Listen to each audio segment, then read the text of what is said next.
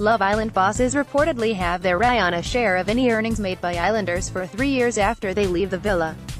Singletons who appear on the dating show have gone on to become household names and break out into other areas, with Kem Cetinay having a crack at presenting and taking part in Dancing on Ice, and Amber Davies launching her own collection with Motel Rocks. With reality TV stars going on to rake it in away from Love Island, producers are now wanting a piece of the pie. According to The Sun, ITV producers are looking into adding a clause to contracts for the next batch of singletons to claim a stake in their earnings. Love Island has helped to launch the careers of many of its stars including Kady McDermott and Olivia Buckland and from last year's series Kem and Chris Hughes.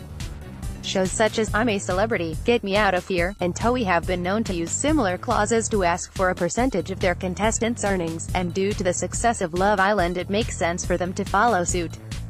Bosses are yet to make a final decision and at the moment contracts are yet to be finalized. This comes after the news that producers are eyeing Real Housewives of Cheshire star Dawn Ward's daughter Taylor for the new series.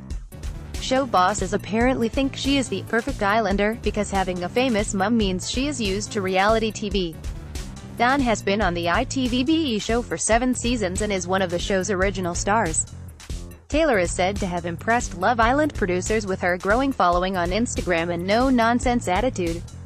A source told The Sun, bosses really enjoyed meeting Taylor, she's confident and definitely has all the qualities of a perfect islander.